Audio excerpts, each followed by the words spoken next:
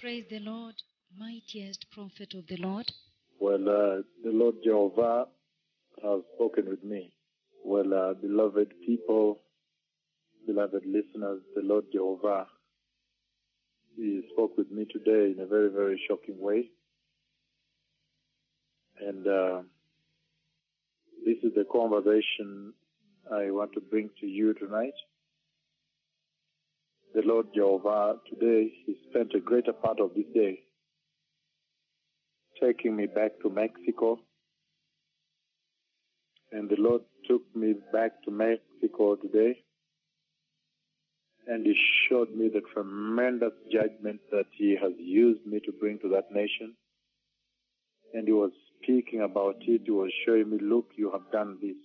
On this side, look, you have done this. So we're going across the country, looking at the debris, looking at things, and He was speaking about the state of idolatry in Mexico. So the conversation has not changed. And then at the same time, he also raised the issue of deception in the churches of Mexico and uh, the continued presence of false apostles and false prophets, the ones for whom judgment has come. You all remember too well that when the Lord sent me to Mexico, when I went to Mexico, when I traveled all the way from the United States of America to Mexico to go warn them, you all now remember too well that uh, the reception when I warned the false apostles and the false prophets to stop this game of deception they are engaging the church of Christ on. Their reception was quite lukewarm. The, the, the reception was negative. Some of them ran away from the Amistad Pastores, Alianza Pastores, the meeting where I talked to them. The meeting, the, the, the conference of pastors, the fellowship of pastors, where I always met pastors and brought them the tremendous message of the Lord. And so this is again the same thing the Lord has raised, but today the Lord spent a greater part of this going back to Mexico, essentially showing me the amount of damage that has been done to that country by the judgment of the Lord. And then the Lord again still asked that Mexico repents. So the Lord is asking Mexico to repent. It was non-stop conversation, and then he said the church has followed another road. So I saw the church. I was walking with them, the Church of Christ in Mexico, the non-Catholic church. Then I saw the church, the Pentecostal Evangelical. They took another road, and the Lord, the Lord said, "Look, they have taken another road." So the, the, the wrath of God is still directed at that nation. And the Pentecostal churches, they bear a greater responsibility. They have responsibility because they ought to know when the Lord sends a servant. Well, uh, after that, then the Lord spoke to me finally about Kenya. I always knew that the moment for Kenya would arrive. I knew it very, very well. I looked at the way they're executing themselves, the way they are carrying themselves in the face of this situation, and I always felt very sorry for Kenya. Even the way they treat the message and the messenger in this land, I always knew that their day will come. So finally, the Lord spoke to me about Kenya and the Lord has commanded that the Kenyans clean up their idolatry. Today is when the command has been issued. Again, now the Lord has turned on Kenya and he asked that I declare and command this nation to get rid of her idolatries And this is extremely very critical because it's coming at such a time when Mexico has just been judged for the most hideous and the most heinous form of idolatry. But now the Lord is asking Kenya to clear all her idolatries, her idols. In fact, the Lord in the process raised to me a very important thing that many, many people in their workplaces, in their homes, on their tables, they have many idols. So the Lord even specifically said, tell them to clear up, to clean up the idols from their tables. In their offices, in their workplaces, in their homes, they have those little, little uh, things, uh, the idols, that some of them are very subtle, very concealed, very hidden. You may not see, you may not look at it as an idol, but the Lord has now commanded that this land clean up her idolatry. And again, my prayer is that Kenya will not get to the place of Mexico, that people will start to clean up their homes. In Mexico, when I was in Mexico, in Cholula, where they do human sacrifice, I did a very big program in Cholula called Limpia tu Casa. Limpia tu Casa. Because I found out that in Cholula, apart from doing the human sacrifice they were doing on the pyramid the Cholula, which the Lord sent me there to demolish, and you see that's why this, uh, the first, those who watched the documentary, the first church that I presented there that was struck is actually a church in Cholula. So, um, so Cholula is a neighborhood, a neighborhood of, Puebla.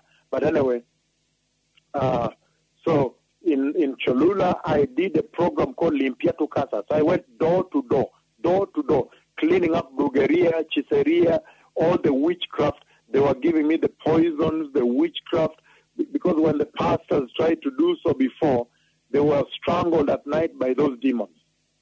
So the Lord led me there to clean up door to door. They were surrendering the witchcraft, the what, the the the the, the, the snakes. The, it was a big program, and we, we set I set them on fire, uh, put petrol and set them on fire. It was a big program in Cholula called Limpia tu Casa. But this is what the Lord is asking Kenya to do. Kenya has also reached that place of Limpia tu Casa. In Spanish, Limpia tu Casa means clean up your home. So it was a home cleaning program I did in Cholula because I found out that Cholula had the human sacrifice going. They were, they would once in a while they would slaughter an adult, and on the altar on that hill, uh, but most every year they slaughtered a virgin, and they also slaughtered some dogs and so forth. So there was human sacrifice going on in Cholula, brujeria, witchcraft, chiseria, everything was there. So the Lord did limpia tu casa, door to door. So the witchcraft that the other pastors tried to touch, and most of them were, some of them were killed, died. So, so I, they, they surrendered so that I could set, I set them on fire at a central place. So the Lord is asking that Kenya does limpia tu casa. Kenya does clean up your home. So go through your homes, find little idols, uh, whatever you find, clean up those images you've collected, crush them, destroy them. Why? Because time has changed and the Lord has now commanded. And I know Kenyans are very obedient. They will begin right tonight. Anything that looks idolatrous, the face of what, what, they will destroy them however expensive. And then the third conversation tonight, the Lord has spoken now about idolatry across the nations. And the Lord has asked me to command all the nations to clean up idolatry. That is the third conversation that happened today. And then when I decided that I would give this message of the Lord tomorrow, then by voice the Lord came, by voice. He came and said, Look, you have not yet told them to clean up their idols. Look, you have not told them. Tell them now. Again, when I decided that I would give this message tomorrow, to give this message to the nations of the earth to clean up their idolatry tomorrow, then the Lord came by voice, speaking by voice, and said, Look, you have not told them. You have not given this message. You have not told them to clean up their idols. And that is the reason I gave it this late.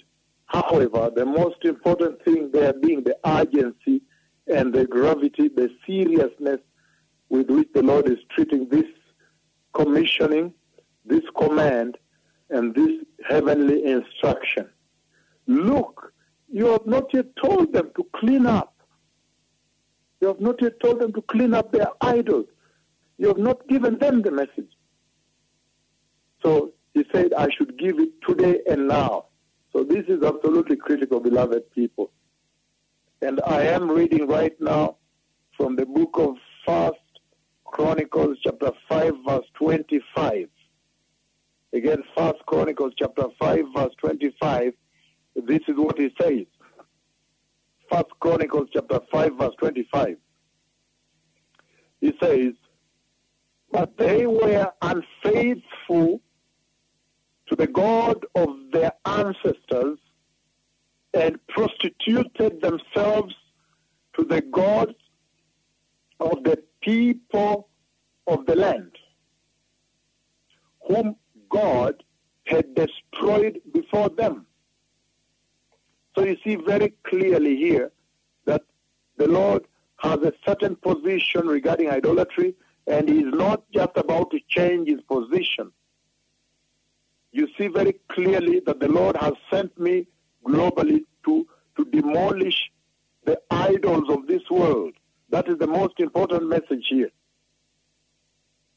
In His divine power, in His immense uh, concealed and revealed wisdom,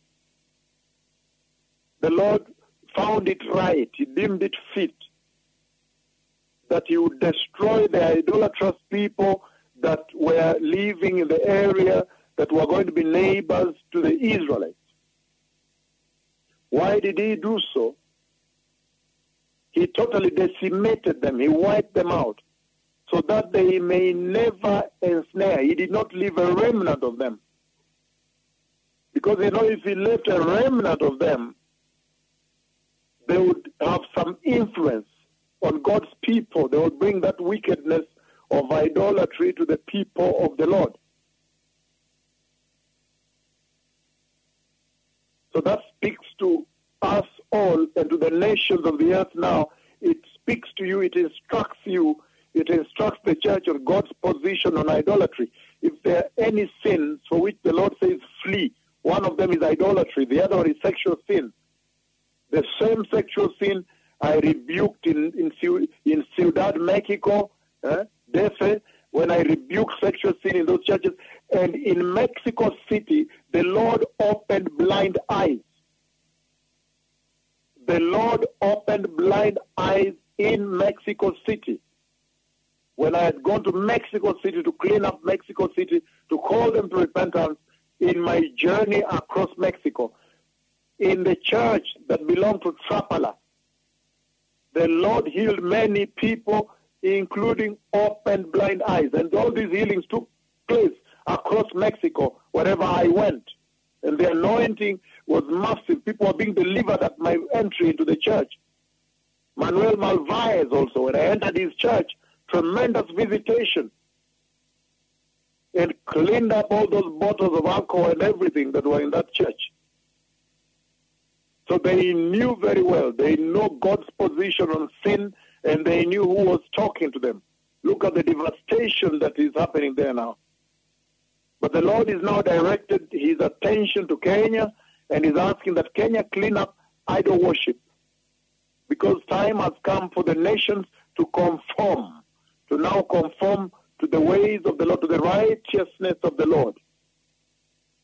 And then the Lord has trained his focus now to all other nations, and he has commanded that they clean up all their idols and set them on fire and begin to worship Jesus, worship Jehovah through Christ Jesus.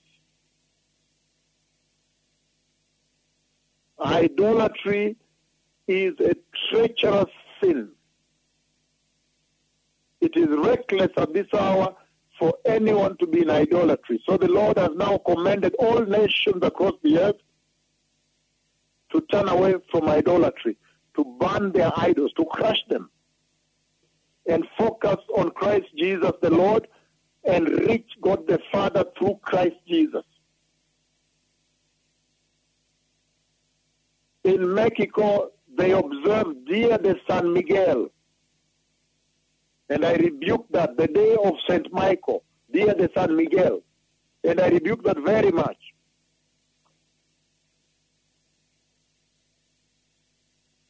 And now they know better. It's time to repent and prepare the way for the glorious coming of the Messiah. The churches in Zavaleta, hmm, Colonia, Belo Horizonte, the churches all over Mexico, Puebla. You know the position of the Lord on idolatry. You need to lead the entire nation of Mexico. Look at how desperate Mexico is. It's as though Mexico is now crying for a new savior. For all these years, though, it's like they were crying for a savior. They did not get a savior until they worshipped Santa Muerte. Santa Muerte. They worshipped, uh, they worshipped Guadalupe, Virgin de Guadalupe, Guadalupe. Their own Maria, their own Mary, Virgin Mary, a Mexican. They even created another Jesus who looks Mexican in those churches, in the Catholic churches. But the Lord is saying time is over now, and now you know it's better that the wrath of God is in the land. But all the other nations, Kenya inclusive, please begin serious work tonight. The mouth of the Lord has spoken, the Lord has commanded the cleaning up of idols, including spiritual idols, immorality. If your wife is an idol, then that is the place now for you to start focusing on Jesus and worship Jesus. And in that way, probably you become now a better husband also. Yes, you will. Or if your husband is an idol, or if your son is your idol in your house, that way you become a better father to that son, a better mother. This is the hour at which the Lord is cleaning up idolatry from the hearts of men. He's mowing them down with an immeasurable force. Now in Mexico, as we speak, there is a mountain, there is a ridge. The Lord dug a ridge across the mountain. Now there is a landmark in Mexico as we speak now, a landmark that says this land, this land was visited by the mighty prophet of the Lord. He walked here. A landmark. It remains there forever until Messiah comes. It forever will testify that this land was spoken to. This land was won. But for the other nations, you can now prepare for the coming of the Lord. Get rid of your idols. Turn away from sin. The Bible says, for without holiness, nobody will see the Lord. The churches in the United States of America also stand warned. Turn away from that defiling gospel of prosperity, the money, money, and nudity in the church, and never, no, zero focus on holiness. And yet, the most important message of the Lord handed down on the cross is holiness. The most important distinction between the church and all other idol worshippers is holiness. To be holy. Righteousness. Because that is all that earns you entry into the kingdom of God. The church in Australia needs to repent. There is an earthquake coming between Australia and Hobart. I don't know how close it is to Australia, but Australia needs to repent. And the church in New Zealand needs to repent. And I'm going back. I'm going back to India. India needs to turn away from idol worship. I see myself being sent to India soonest. Tenali. You know that I've been to Tenali and rebuked your idols. Coimbatore. I've been to Coimbatore, rebuked your, your idols. I've been to Kerala. I've been to Delhi. I've been to Andhra Pradesh, Hyderabad. And told you to turn away from those idols because the Messiah is now coming, that you may be born again. I've been to Mumbai. The Messiah is coming. Shalom.